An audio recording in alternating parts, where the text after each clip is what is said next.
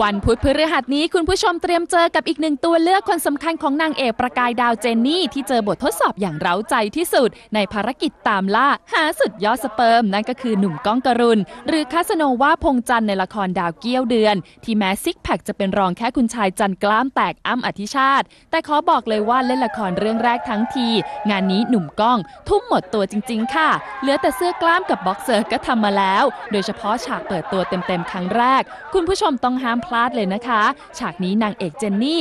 แสบๆ คันๆ ส่วนหนุ่มก้องแอบวิวเล็กน้อยถึงปานกลางค่ะ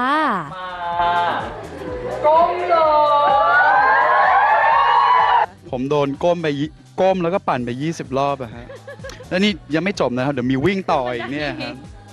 ใช้ได้เลยครับ ใช้ได้ ใครจีบเจนนี่นะครับ จะต้องโดนอย่างเงี้ยฮะ ใช่ คือจริงๆ แล้วอยากจะให้เอ่อ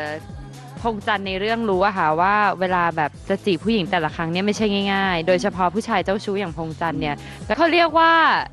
ดูได้ดูดีดูของแปลกค่ะ ก็อยากจะขอฝากขอฝากฉากนี้ไว้นะครับ เพราะว่าด้วยตัวผมเองผมก็ยังรับตัวเองไม่ไหวเลยฮะแต่ว่าคือมันสนุกจริงๆและฮาจริงๆก็อยากจะขอฝากฉากนี้ไว้ด้วยแล้วกันครับ